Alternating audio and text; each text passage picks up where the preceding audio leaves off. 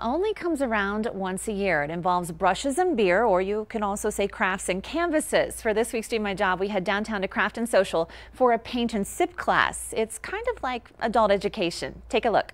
It's not like your normal craft beer festival. This one has pre-event tasting experiences that are happening all throughout the city. It's part of Beer Bites and Beats, what looks to be a yearly event in downtown El Paso. Oh, the pre-event tasting experience, which is what's happening right now. Yes, totally. Perfect. So let's head into Craft and Social and get this paint and sip underway. Let's do Sound it. like a plan? Inside, an artist with locally owned I Painted That, Elena Rosas is in charge of class, which makes me his apprentice.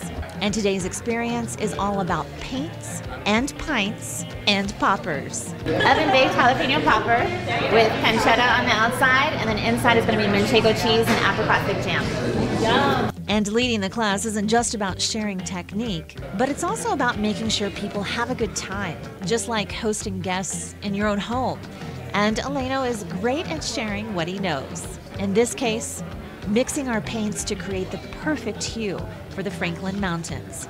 And there are definitely some perks to this job. All right, so we've got the avocado deviled egg. It's got cilantro, lime, and red onion in it. Yes, it does. So the ultimate taste test because you can never deliver product without sampling your own stuff. Very nice product. This is the best part of the job. Oh man, that looked good.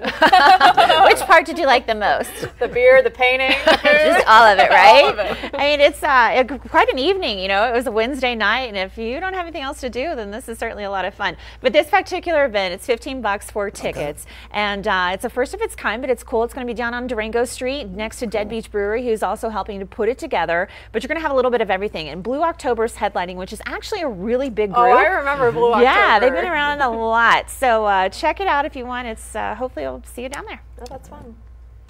It'll be fun.